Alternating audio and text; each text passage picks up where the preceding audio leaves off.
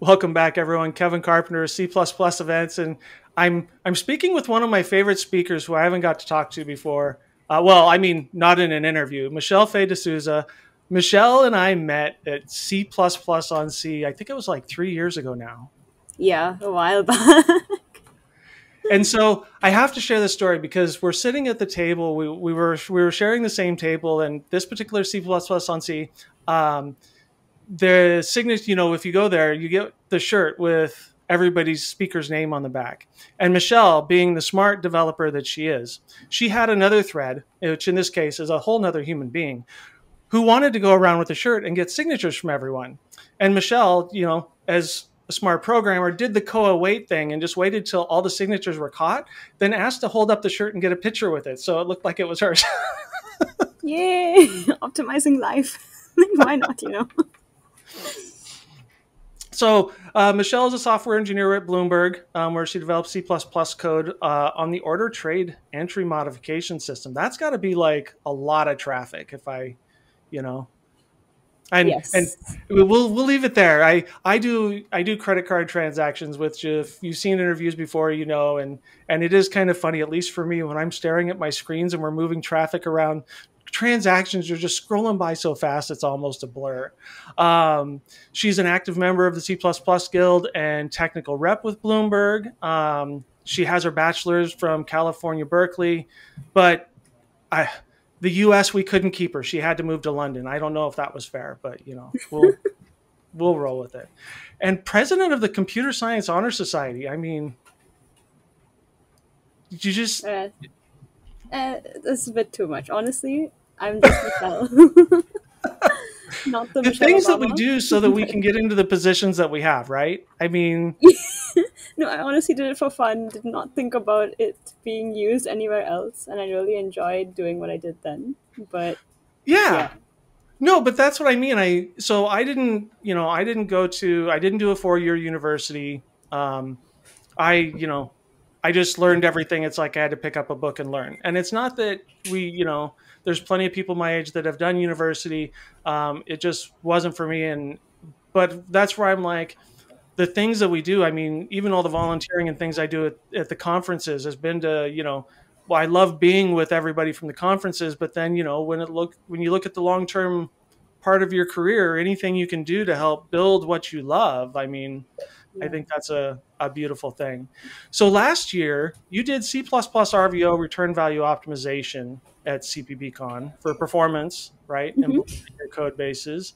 Um, but this year, you're going to do, oh boy, you know, what's the talk title that you have this year? It's Cache Me Maybe. So it's oh, Cache Me Maybe. Yes. Going to be a very interesting talk, uh, for sure. It's going to be very fun, guaranteed. But yeah, you should be there. You you love it for sure. Well, I'll absolutely be there. I mean, fortunately, we're not back to back like we were last year, so you know. yeah. those were really big shoes to fill. Like Kevin was speaking right before me, and I was so nervous because Kevin is such a good speaker, and your talk was amazing. So and then having I, to go after. I I appreciate that, but let's be clear about the statistics for everyone watching.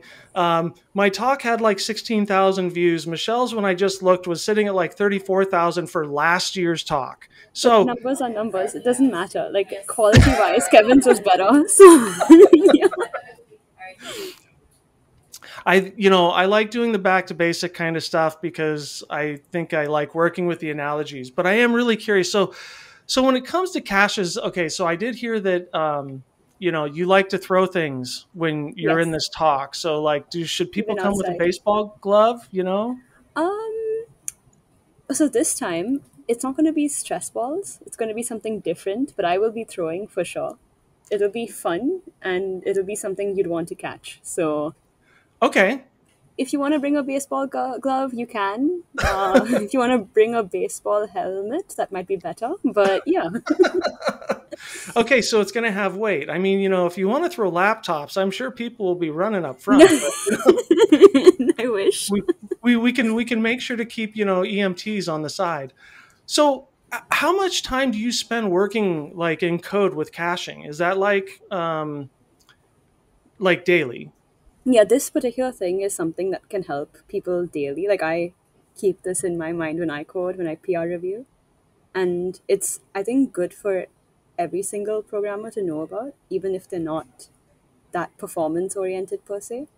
Like Mhm. I was kind of ashamed when I didn't know about it and I learned this whole thing. I was like, "Oh my god, I wish I knew this earlier." But this is just not something that was taught to me before. So, yeah, I think people should know what is going to be presented. I think it's interesting in C++ because especially when we're starting out, there's so much there's so much you can do with the language, just Oh, you know, on its own. And when you're doing modern stuff, stuff. But to your point, as you start to understand the the relevancy of the hardware underneath, then it makes you think about your code differently, right?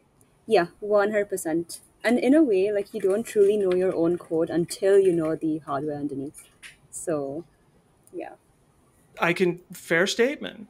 So do you find that, you know, because speaking of like the talk I gave last year, you know, and and kind of bouncing both these. So I'm like, you know, when you when you're starting out, that's why my talk was almost always vector, right? Mhm. Because as you're starting out, you know, the that will get you 80% of the way there. And the performance will be, you know, at least 80% of the way because so many people use it. How much custom is you know when i think about your what your talk's going to be about on one hand there's the i will think about my code differently but then on the other hand how often are you having to write custom code to really take advantage of caches versus just thinking about the way you're going to use structures differently? How much does that split kind of happen So it also depends because like sometimes when people make customized data structures, you get to reuse those things. Like that's what's been done with a lot of third-party libraries, but also in the standard itself, hopefully in the future. Uh, but we'll come back to that in the talk. Um, but yeah, so if you want to create a customized thing, you can. If you're at a um, bigger company or someone's already done it, making sure you use those customized things is super important.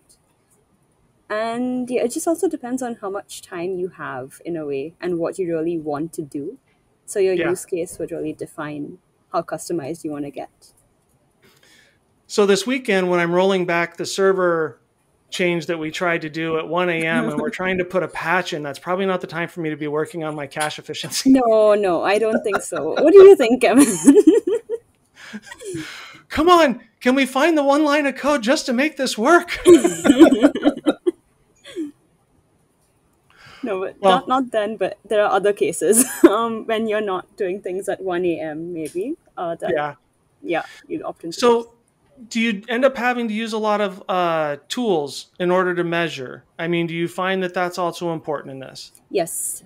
Like observability, if you don't have that, I mean, it's like there's a quote from I think Evan Hansen or one of those plays, like ah, I can't remember it correctly, and then people watching this are gonna hate me if they're theater nerds, but it's something about if a tree falls down in a forest and there's no one around to hear it, Yes. does it actually fall down?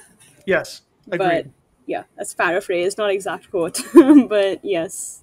I think you have it close enough. So to that point, it's like if you're not measuring it, you don't know if it's really a problem. Exactly. Yeah. Yeah. So you do- definitely need to be measuring. So if you want to learn how to measure, well, I don't know about the measuring it, but if you want to know why it's super important and see some code examples and have things thrown at you and probably have a great time at a talk. Oh, yeah. I'm super excited. Um, you got to come see Michelle's talk, CPPCon. If you don't have your tickets yet, I have to ask why. You know, we're less than a month out. You want to get these done.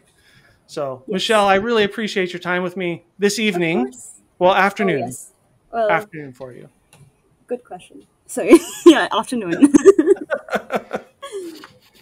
And I look forward to seeing you in Denver here in about uh, a little less than four weeks. yes, will do. I'm excited for it too. It's going to be super fun. Trust me. I believe you. Talk to you soon. Bye bye. Right. See ya. Bye.